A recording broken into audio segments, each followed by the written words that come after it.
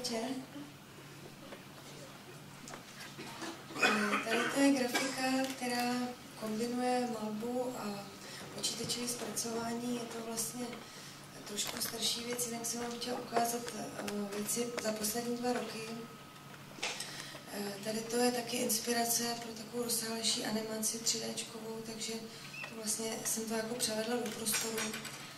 A tuhle grafiku jsem vystavovala v galerii Havelka, eh, kde teda na té zadní stěně, nevím, jestli to je dobře vidět, ale tam taky běží ještě jiná animace s názvem Interspace, která vlastně jako vychází No to je no, prostě teďka, tady to je velkoplošná projekce, protože se jednalo o gotický kostel svatého Martina, tak jsem použila taky rostlinný motivy, které mě přišly, že se uh, jako doplňují s tou architekturou. Je to, je to vlastně statický obrázek, podobně jako tady. Tady jsem tu velkoplošnou projekci použila na otvírání Meat Factory, kdy tam vlastně byl zavěšený tady ten eh, statický jako obraz.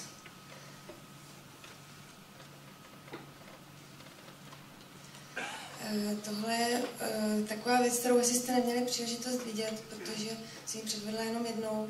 Je to interaktivní instalace s názvem Interspace 012 a jedná se o to, že vlastně se tam divák pohybuje v nějakém poli a vlastně k tomu divákovi se přiřadí jedna z těch planet, který tam vidíte jakoby v tom imaginárním vesmíru a on tím, že tam se pohybuje před tím projekčním plátnem, tak vlastně pohybuje s tou planetou.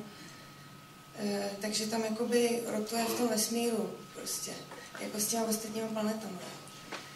A tady je trošku popsaný, jak to funguje, že tam je teda ten prostor, kde on se jako hybe a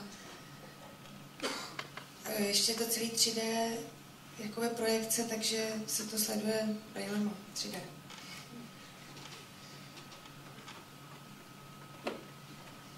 To je e, virtuální realita, která je 13 let stará, nicméně je tady kvůli tematickému důvodu, protože jsem se zabývala ovládáním nějakého umělého světa jenom mozkem, takže vlastně tady tím prostorem imaginárním se dá procházet a ovládat ho eh, mozkovými vlnama. Eh, Tohle to je peklo zrovna konkrétně, takže tam vlastně nejdřív jako nastane to špatný, eh, potom teda se to jako má zlepšit. A tohle je očistec, jakoby, takže se člověk pohybuje v takové spirále a on vlastně v průběhu té virtuální reality by měl jako se vyladit na ten prostor a měl by prostě se trošku snažit, eh, protože jeho negativní vlny mozkový produkují takový vošklivý obrázky a mlhu a tmu a takové jako depresivní prostředí. A naopak pozitivní vlny vlastně by ho měly dovést do nějakého jakoby šťastného konce, takže vlastně tematicky eh, tady jenom naznačený, jak to fungovalo, a že to vlastně jakoby ne každému se povedlo se tam prostě dostat do toho ráje, protože to bylo jakoby hra. Takže vlastně...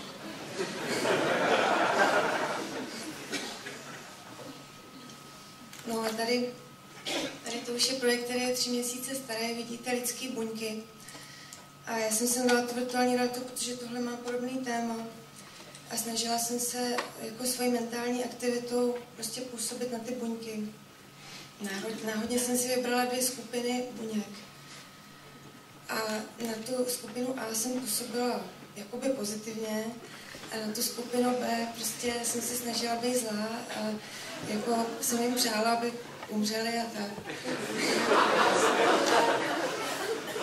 A potom mm, prostě výsledkem je, že ty buňky nalevo, na který jsem byla hodná, tak se tam jako plujou v té vodě. A ty, na který jsem byla zlá, tak oni udělali takový zhluky. Takový jako, že se tak jako přimkli k sobě. A prostě tyhle ty zvuky se vůbec té druhé skupině nevyskytovaly. Prostě ty, byly jenom ty No a potom tam nalevo jsou pořád ty, co se na ně bavím, ty jsou jako normální, to vypadají furt stejně. A tady tyhle ty, tyhle jako se prostě takhle projevovaly, jako že se začaly úplně jinak chovat. A zároveň taky to mělo ještě ten efekt, že jich bylo jako, že na začátku jich bylo 600 tisíc a na konci těch, co jsem na nich byla hodná, bylo 2 miliony 680 a těch, co jsem na ně byla zlá, jenom 2 miliony 200 tisíc. Takže vlastně jako jsem zkusila experimentálně prostě prokázat, že opravdu uh, prostě na ty buňky to mělo určitý vliv.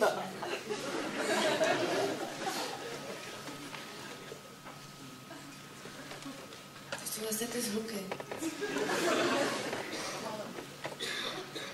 A tohle je pohled do instalace, kde běželo video, teda si záznamem průběhu toho experimentu. Já jsem to dělala v Ústavu experimentální medicíny.